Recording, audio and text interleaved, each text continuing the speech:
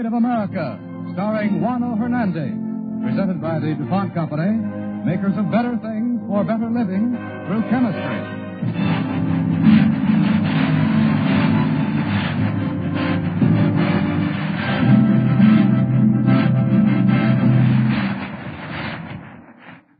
Cavalcade's play tonight, The Burning Bush, is the story of a Negro who rose from a slave cabin to America's Hall of Fame, Booker T. Washington. Our drama is adapted from his autobiography, Up from Slavery. Our star is Juano Hernandez, who has just scored a personal success in the Broadway production Set My People Free.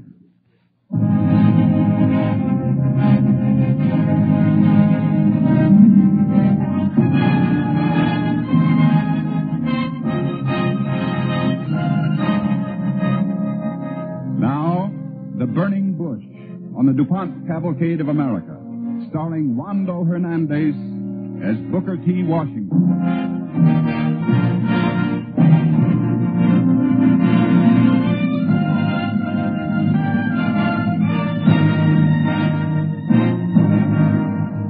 I was born a slave, and I believe my childhood was like that of most slaves.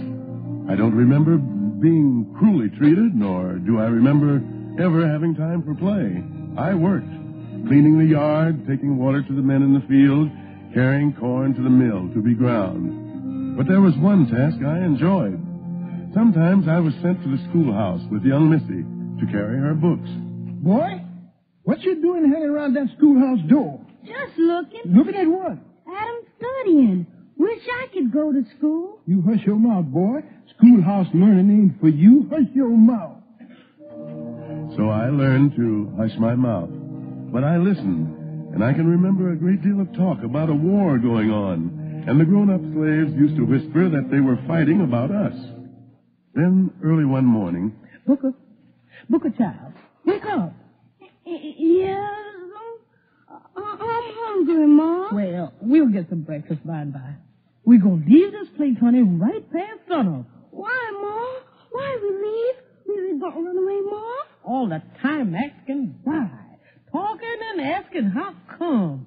We got work to do, child. If we run away, they'll catch us, Mom. Like when old Sam ran away, and they catched him. Ain't nobody gonna catch nobody no more, child. Soldier man come last night and say colored folks are free now. Old Mrs. can't make us stay here no more. We always been here, Ma. Where have we got to go now? Well, we we're going because I don't know, child. I don't know.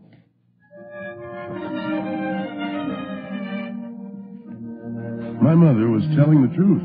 She didn't know why she was going away, or where. She had no understanding of her freedom, nor did most of us. I knew no one of my race then who could read or write.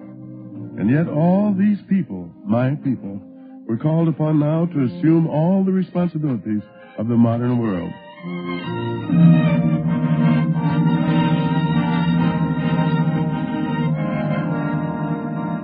But let no one get the notion that the slaves didn't want freedom.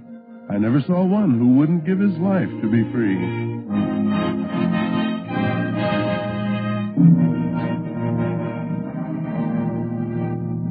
The place we went to was a little town in West Virginia called Malden. I lived there for several years, working in the mines. And then one day I applied for work at the home of Mrs. Ruffner, a Yankee lady.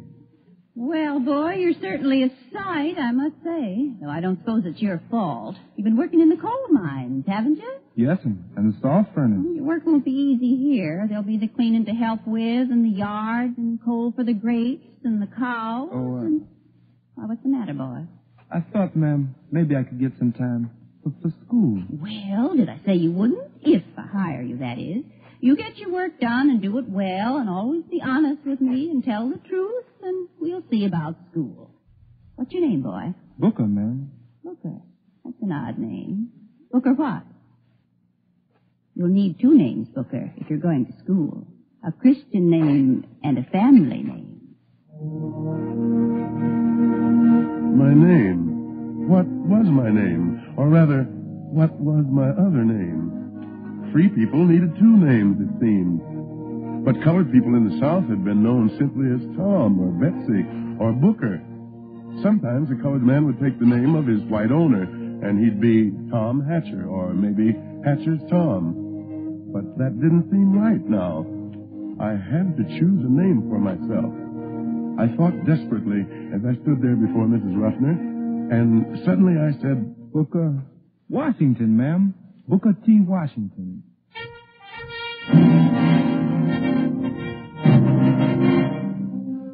I learned a lot of things from Mrs. Ruffner besides my name.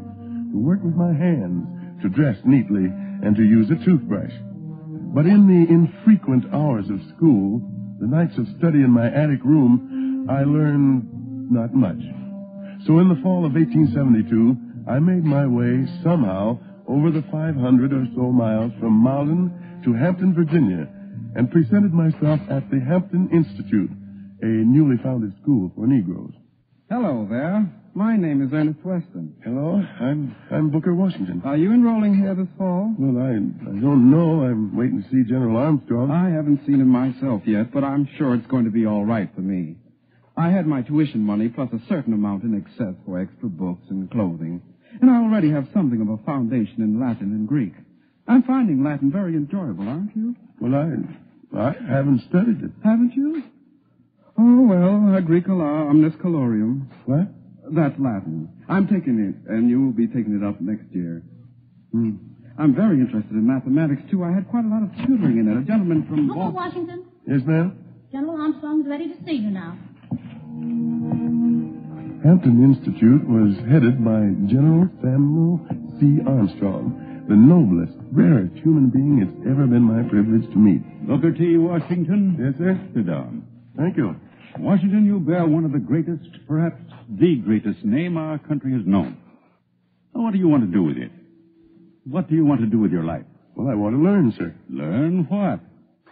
Well, what do you want to learn, Booker? Well, sir, I thought, well, I'm not sure, but, well, Latin and Greek. And algebra and calculus and astronomy and medicine and jurisprudence.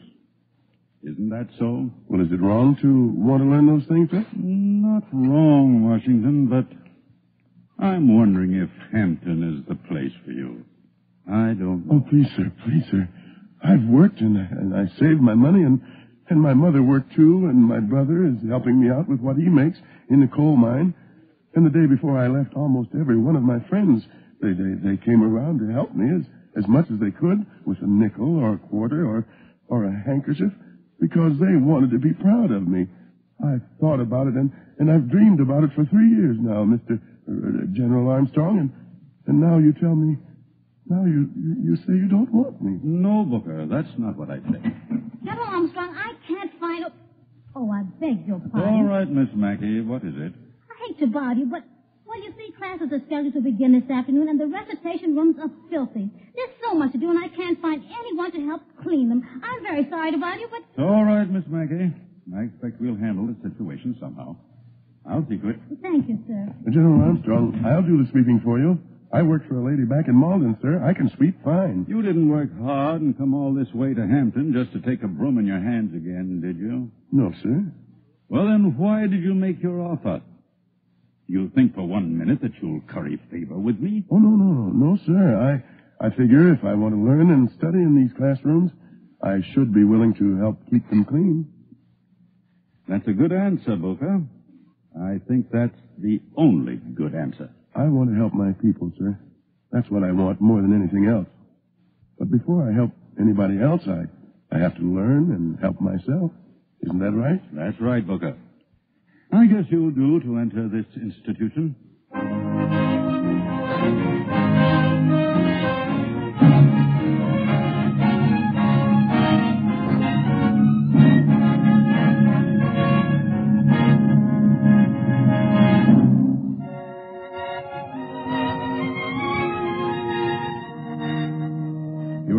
to The Burning Bush, starring Juano Hernandez as Booker T. Washington on the Cavalcade of America, sponsored by the DuPont Company, makers of better things for better living through chemistry.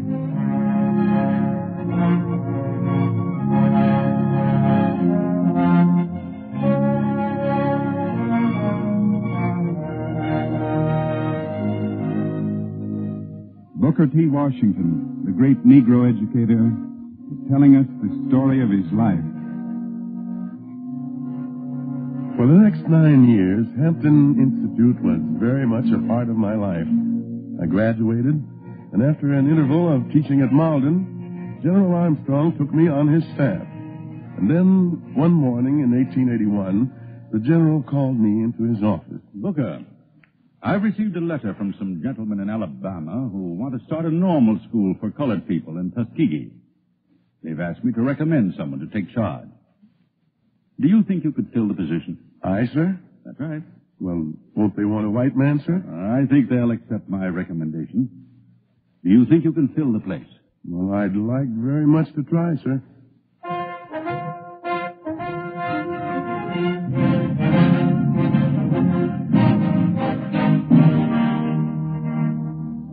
Had I known what faced me at Tuskegee, I should hardly have been so confident. The state legislature had granted a small appropriation for teachers' salaries, but there was no provision whatsoever for securing land, buildings, or books. To build a whole school, we had only the few hundred dollars which had been raised by the Citizens Committee of Tuskegee. Good morning, friend. Morning. I wonder if you could tell me how to get to the old plantation house. They said it was somewhere on this road. There's a little road that leads right down there, only it's so choked up, can't hardly see it. Well, maybe you would show it to me? Yes, sir. You the teacher man from town? Yes. I've heard there's a chance we might be able to get the place for our school. I walked out to take a look at it. No, no. That old place is falling off the hinges. Grandpa, you come eat your food now. This that teacher man from town, Carol. You acting if he'd like to eat too. Good morning, Mr. Washington's the name, Miss. uh, That's Carrie Sampson, Mr. Washington, and this is my grandpa. Oh, I'd be mighty glad to have you with us, only it's nothing but old side meat and black-eyed peas. Well, there's nothing I'd like better, Carrie. If you're sure there's enough to spare.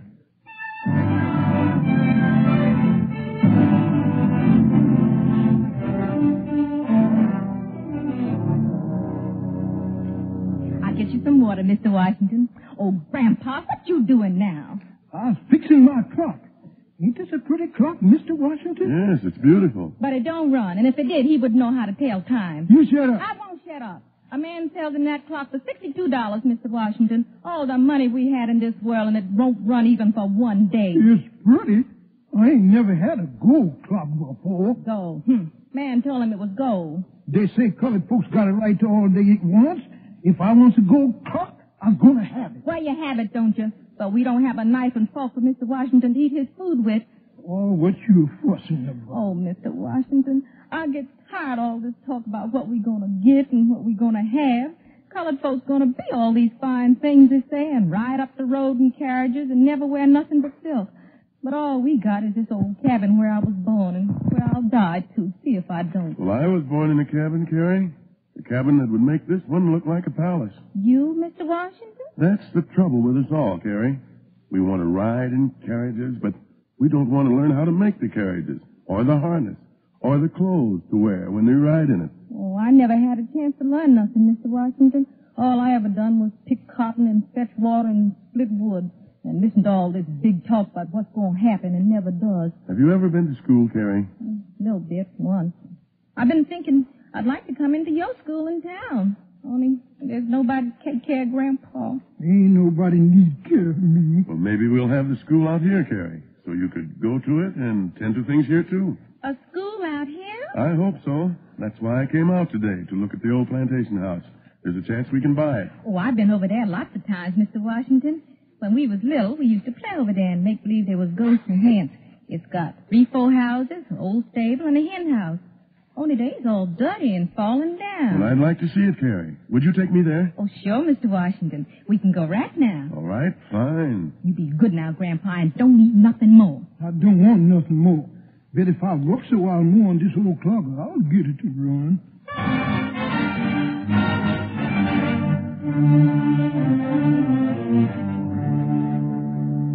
A little later, at that same plantation house, I addressed the first assembly of the students in Tuskegee Institute. Students, And friends, we've all heard the old saying, you've made your bed, now you can lie in it. Pardon me. But here at the new Tuskegee Institute, we have to make a change in that saying. We have to build our beds before we can lie in them.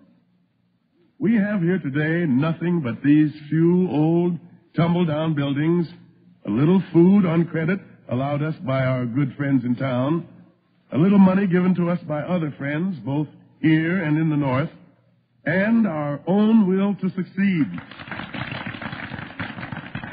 So I'm going to ask something of you, something more than is usually asked of men and women who are seeking knowledge. I am going to ask you not only to study and learn in your school, I'm asking you to help in the building of your school. I'm asking you to dig the ground and cut the timbers, and yes, even to dig clay and make bricks. If we want a school, we must build it for ourselves with our own bone and sinew and the strength of our heart and soul.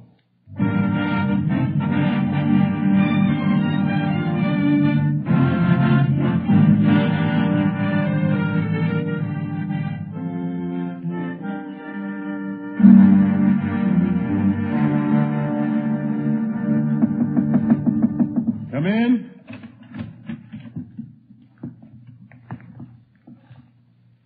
What can I do for you? Mr. Washington, we, we... Mr. Washington, the new students have appointed us as a committee to, to bring certain grievances to your attention. I see.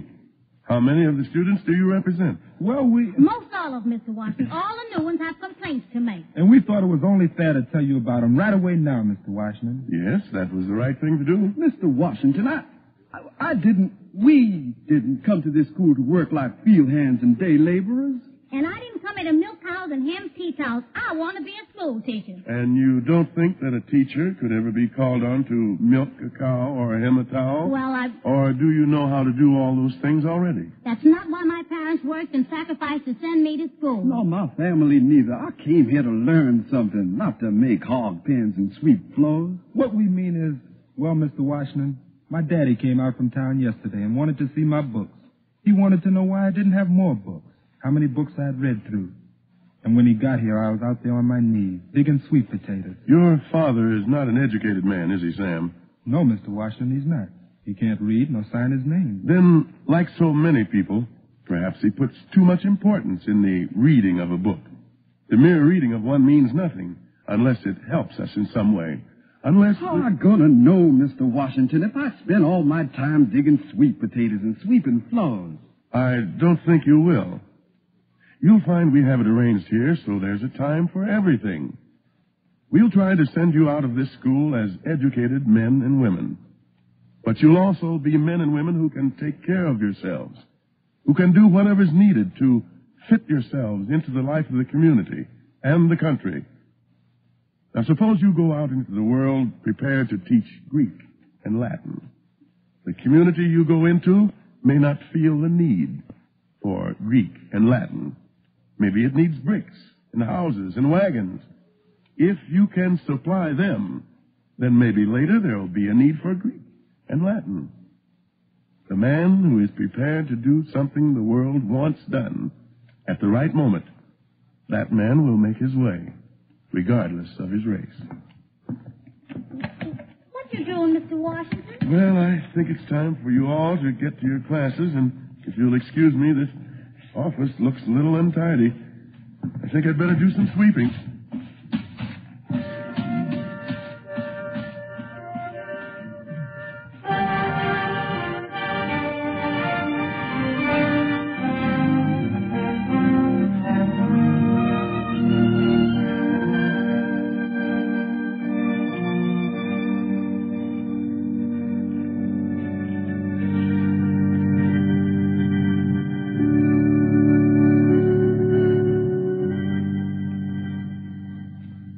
Lord is my shepherd. I shall not want. He maketh me to lie down in green pastures. He leadeth me beside the still waters. He restoreth my soul. Mr. Oh, Washington. well, hello, Carrie. What is it? Oh, I'm sorry to disturb you, but I've been going over the books like you asked me to, and, well, I just don't know how we're going to get through the rest of this year. Is that bad? We only made $17 from this month's vegetables and only 55 from the bricks we sold in town, and we still can't meet our bills by almost $200. Well, Carrie, don't worry about it. Oh, but I do worry about it, though. I think sometimes maybe it's not worth one little bit of all this work and trouble. Well, Carrie, don't say that. You're a fine, smart man, and you ought to just think about yourself. Forget all about us. The school's going to fail anyway. It's going to fail. That will do, Carrie. I don't want to hear any more of that kind of talk. Now, please, Carrie, I... Yes, sir. I'm sorry.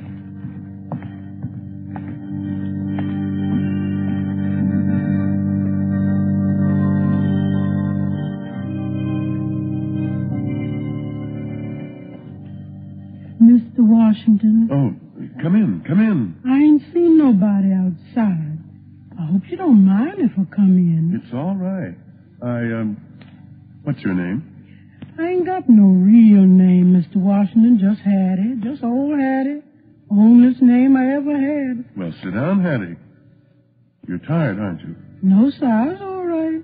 I come to bring you something, Mr. Washington. To bring me something? Yes, sir. I hear tells how this school is having a hard time. I thought maybe these boys and girls ain't getting enough to eat. Oh, Hattie, it's, it's not as bad as that. But I hear tell tis, and I know what you's trying to do, Mr. Washington. I know you's trying to make better men and women for the colored race. Well, Hattie, I ain't got no money to give, but I got these eggs here. I've been saving up from my hens. They've been laying real good, and I want you to take 'em. You'll take 'em, won't you, Mr. Washington? Hattie, do you remember the story of Moses and the burning bush? How, in a time of sorrow and pain, the Lord God appeared to Moses in a burning bush and said to him, I have seen the affliction of my people, and I will deliver them into a good land. Well, Hattie, these are not really eggs. They're our burning bush. They're our rainbow in the sky, the lightning in the cloud, and the sign that says it's it's all been all right. It's been worth all the sweat and the toil and the struggle. Certainly I'll take them, Hattie. They're the finest eggs I've ever seen.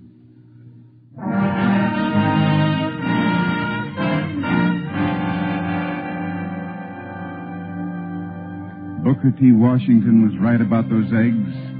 They were the sign. They symbolized the people's faith in the work he was trying to do.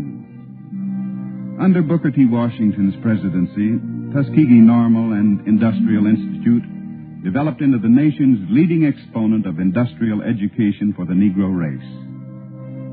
Today, at Booker T. Washington's birthplace in Franklin County, Virginia, his ideals and teachings are being perpetuated in the Booker T. Washington Birthplace Memorial.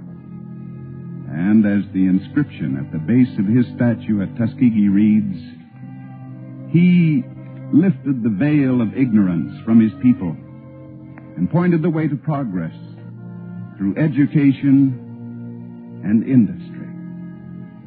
Booker T. Washington.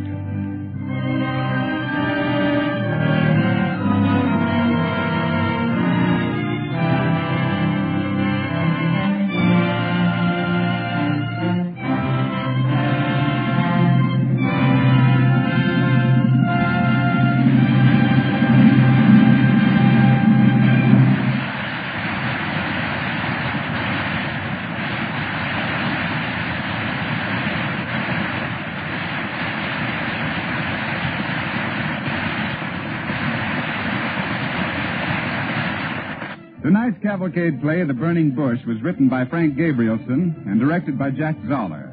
The music was composed by Ardon Cornwell and conducted by Donald Bryan. This is Ted Pearson speaking. Cavalcade of America comes to you each week from the stage of the Longacre Theater on Broadway and is presented by the DuPont Company of Wilmington, Delaware.